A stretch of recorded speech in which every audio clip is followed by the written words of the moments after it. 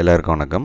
இன்றைக்கி நம்ம பார்க்க போகிறது பைத்தான் ப்ராக்டிகல்ஸ் இது வந்து அசைன்மெண்ட் ஆப்ரேட்டர் பற்றி இன்றைக்கி மெயினாக பார்க்க போகிறோம் ஸோ எப்படி ஒரு வேரியபிளை வந்து டிக்ளேர் பண்ணி அதை டிஃபைன் பண்ணுறோம் அப்படின்றது. ஸோ இங்கே பார்த்தீங்கன்னா பைத்தானில் பார்த்தீங்கன்னா இந்த வேரியபிள்ஸ்க்கு வந்து டைப்பே கிடையாது. So any type can be assigned அதை பற்றி நம்ம டீட்டெயில்டாக அடுத்த வீடியோஸில் பார்ப்போம். இப்போதைக்கு கன்ஃபியூஸ் பண்ணிக்க வேணாம். இப்போதைக்கு நான் வந்து ஒரு நம்பரை ஒரு வேரியபிளில் அசைன் பண்ணுறேன் ஒரு இன்டீஜர் நம்பரை so x is equal to ஃபைவ்னா எக்ஸை நான் எங்கெல்லாம் கூப்பிட்றேனோ அங்கே ஃபைவ் வந்து சப்ஸ்டியூட் ஆகும். அண்ட் ஒயில் வந்து டென்னு அதே மாதிரி ஜெட்டில் வந்து ஃபிஃப்டீன் வச்சுருக்கேன். ஸோ இங்கே பார்த்தீங்கன்னா the value of x is five அப்படின்னு பிரிண்ட் ஆகும். இந்த இடத்துல தான் பிரிண்ட் ஆகும்.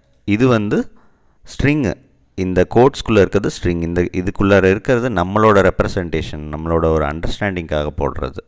இந்த இடத்துல the value of apple is அப்படின்னு போட்டால் கூட எக்ஸ் வந்து ஃபைவாக தான் இருக்கும். ஸோ இங்கே தான் நம்ம பார்க்கணும். X is five y is ten z is fifteen அதுக்கப்புறம் நான் என்ன பண்ணுறேன் எக்ஸ் இஸ் ஈக்குவல் டு ஜெட்டுன்னு எக்ஸோட வேல்யூவை ஓவர் ரைட் பண்ணிடுறேன். ஜெட்டை வச்சு.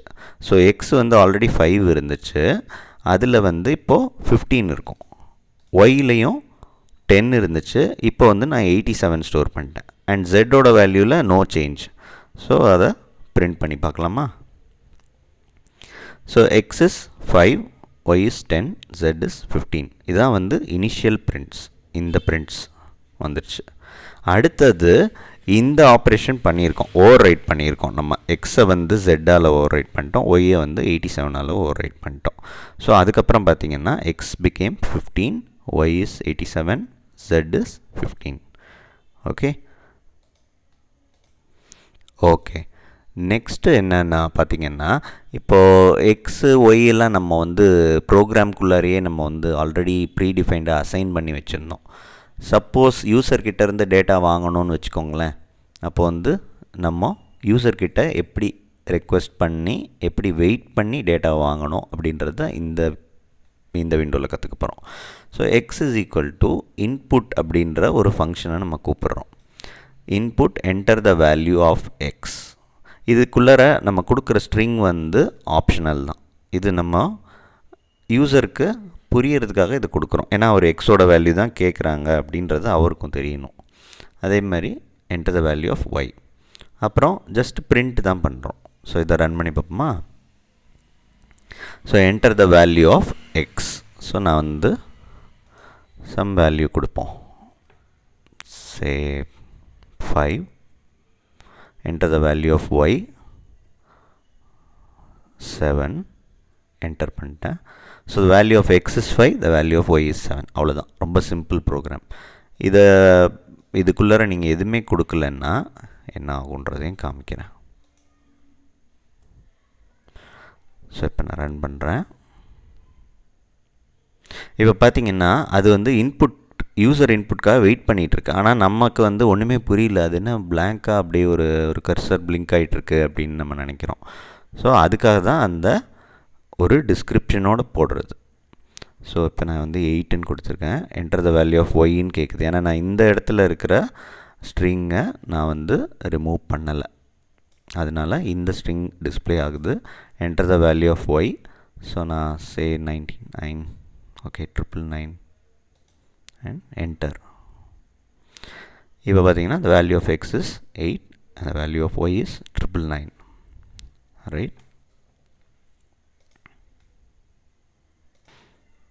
next என்னன்னு பார்த்தீங்கன்னா இது ஒரு கைண்ட் ஆஃப் இன்டர்வியூ கொஸ்டின்னே சொல்லலாம். இப்போது பார்த்தீங்கன்னா எக்ஸில் வந்து சம் வேல்யூ வாங்க போகிறோம் யூசர்கிட்ட இருந்து. ஒய் ஒய்லேயும் ஒரு வேல்யூ அதே மாதிரி வாங்க போகிறோம் அண்ட் அதை பிரிண்ட் பண்ண போகிறோம் அதுக்கப்புறமா என்ன நடக்குதுன்னு பார்க்கலாம். ஜஸ்ட் ரன் பண்ணி பார்க்கலாம் நம்ம இதை. Enter the value of x okay நான் வந்து ஹண்ட்ரட் அப்படி போடுறேன். Enter the value of y அது வந்து two hundred so the value of x is hundred value of y is two hundred print ஆயிடுச்சு. அப்புறம் என்ன நடந்திருக்குன்னா ஸ்வாப்பிங் நடந்திருக்கு. ஸ்வாப்பிங்னா என்னென்னா எக்ஸில் உள்ள வேல்யூ ஒய்க்கு போயிடணும் ஒயில் இருக்கிற வேல்யூ எக்ஸுக்கு போயிடணும். So the value of x is two hundred ஆயிடுச்சு. ஸோ ஒயில் தான் இருந்துச்சு டூ ஹண்ட்ரட் இப்போ பார்த்தீங்கன்னா எக்ஸில் டூ ஹண்ட்ரட் வந்துருச்சு ஒயில் ஹண்ட்ரட் வந்துருச்சு. இதை தான் நம்ம எப்படின்றத நம்ம இப்போ பார்க்க போகிறோம் ஸோ இந்த லாஜிக்கை நான் இப்போதைக்கு டெலீட் பண்ணுறேன் என்ன பண்ணலாம்? ஸோ எக்ஸில் இருக்கிறது ஒய்க்கு வரணும் ஒயில் இருக்கிறது எக்ஸ்க்கு வரணும். ஸோ நார்மலாக எல்லோரும் பண்ணுற மிஸ்டேக் என்னென்னா எக்ஸ் ஈக்குவல் டு ஒய்ன்னு போட்டுருவாங்க. அண்ட் ஒய் ஈக்குவல் டு எக்ஸ்ன்னு போடுவாங்க. இப்படி போட்டால் இன்டர்சேஞ்ச் ஆகிடும் அப்படின்னு. ஆனால் இதில் என்ன தப்பு இருக்குன்னா எக்ஸில் என்ன வேல்யூ இருந்துச்சோ அது ஒய்யால் ரீப்ளேஸ் ஆகிடும் ஓவர் ரைட் ஆகிடும் ஸோ எக்ஸில் இருக்கிற ஒரிஜினல் வேல்யூ போயிடும் வேனிஷ் ஆகிடும் ஒய்யோட வேல்யூ தான் இப்போ எக்ஸோட வேல்யூவும் அண்ட் அகெயின் பார்த்திங்கன்னா எக்ஸில் என்ன இருக்கும்? ஒய்யோட வேல்யூ தான் இருந்திருக்கும் பேஸ்ட் ஆன் த இந்த ஹைலைட்டட் ஸ்டேட்மெண்ட் அதே இதை திருப்பி ஒய்க்கு அசைன் பண்ணுறோம் ஸோ ரெண்டுத்துலேயுமே ஒரே வேல்யூ தான் இருக்கும். இதை ரன் பண்ணி பார்ப்போம். Enter the value of x so 44 and uh, 33 so x ஓட வேல்யூ 44 y ஓட வேல்யூ 33 பார்த்தீங்களா இனிஷியலாக வந்து கரெக்டாக அசைன் ஆகிருக்கு அப்புறம் நம்மளோட லாஜிக் பார்த்திங்கன்னா இந்த லாஜிக் வந்து தவறாக இருக்குது. The value of x is thirty three அது வந்து ஒய்யோட வேல்யூ அது ஓகே பட் ஒய்யோட வேல்யூ ஆல்சோ தேர்ட்டி த்ரீ அதுதான் தப்பு. பிகாஸ் நம்ம என்ன பண்ணிட்டோம்? எக்ஸோட வேல்யூ ஃபார்ட்டி ஃபோர்னு இருக்கிறத அழிச்சிட்டோம். எந்த ஸ்டேட்மெண்ட் அழிச்சதுன்னா இதுதான் அழிச்சிருச்சு ஏன்னா ஒய்யோட வேல்யூ வச்சு நீங்கள் ரீப்ளேஸே பண்ணிட்டீங்க. அதுக்கு தான் நம்ம என்ன செய்யணும்னா ஒன்றுமே இல்லை ஒரே ஒரு டெம்ப்ரரி வேரியபிள் யூஸ் பண்ணிக்கணும். ஸோ ஒரு டெம்ப்ரரி வேரியபிளில் முதல்ல ஒய்யை ஸ்டோர் பண்ணிக்கோங்க. அதுக்கப்புறம் என்ன பண்ணுங்கள் சரி டெம்பரரி வேரியபிளில் எக்ஸ் வச்சுப்போம். ஏன்னா இதே எக்ஸாம்பிள் மாதிரி இருக்கும். ஸோ எக்ஸை வந்து நான் ஒரு பேக்கப் எடுத்துட்டேன். இங்கே பார்த்தீங்கன்னா எக்ஸை அழித்தாலும் பரவாயில்ல. எக்ஸை வந்து நான் ஒரு பேக்கப் எடுத்துட்டேன். ஸோ இந்த எக்ஸாம்பிளை பொறுத்த வரைக்கும்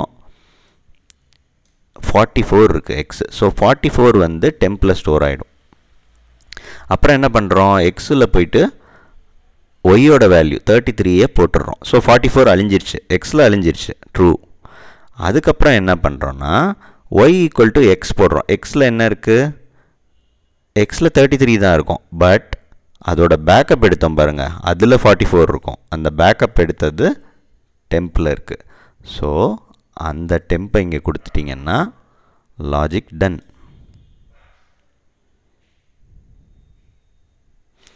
okay. Enter the value of x and value of y. பெரிய நம்பர் கொடுப்போம். பார்த்தீங்கன்னா x is sixty six y is nine nine nine nine and swapping வந்து கரெக்டாக நடந்திருக்கு இந்த இடத்துல. ஸோ புரிஞ்சிடுச்சா இந்த லாஜிக்கு ஸோ இது வந்து என்னென்னா ஒரு ப்ராப்ளம்க்கு வந்து பல விதமான சொல்யூஷன்ஸ் இருக்கும். ஒரு ஒருத்தரோட அப்ரோச்சும் ஒரு ஒரு மாதிரி இருக்கும். அதில் எது எஃபிஷியண்ட்டாக இருக்கோ அதை தான் நம்ம ஃபாலோ பண்ணணும். ஓகே இப்போ இதே ப்ராப்ளமை எப்படி வேறு விதமாக சால்வ் பண்ணலாம்? பைத்தானில் வந்து ஒரு பில்டின் இந்த மாதிரி ஒரு கமா ஆப்ரேட்டர் வச்சு நீங்கள் ஸ்வாப் பண்ணலாம். இதில் என்னென்னா நம்மளோட ப்ரீவியஸ் லாஜிக் இருக்குது பாருங்கள் இதை மட்டும்தான் நான் ரீப்ளேஸ் பண்ணியிருக்கேன். மிச்சது எல்லாமே சேம் இந்த கோடு எல்லாமே வந்து உங்களோட இந்த யூடியூப் வீடியோ டிஸ்கிரிப்ஷன்லேயே போட்டு வைக்கிறேன். ஸோ தட் நீங்கள் யூஸ் பண்ணிக்கலாம். ஸோ இங்கே பார்த்தீங்கன்னா x comma y is equal to y comma x so இதுவே வந்து உங்களுக்கு ஸ்வாப்பிங்கை பண்ணி கொடுத்துருது. சிம்பிளாக so x equal to four y is equal to eighty seven பார்த்திங்கன்னா எக்ஸ் வந்து எயிட்டி செவன் ஆயிடுச்சு after swapping and the value of y is four so இந்த மாதிரி இது எதுக்காக சொல்ல வரேன்னா ஒரே ப்ராப்ளமை பல விதமாக சால்வ் பண்ணலாம். இது இதே ஸ்வாப்பிங்கை வந்து இன்னும் ஆக்சுவலாக two or more than two different மெத்தட்ஸில் நீங்கள் ஸ்வாப் பண்ணலாம். ஸோ இந்த மாதிரி ப்ராக்டிஸ் பண்ணிக்கிட்டே இருங்க and keep learning everyday okay next வீடியோவில் பார்ப்போம். Bye bye.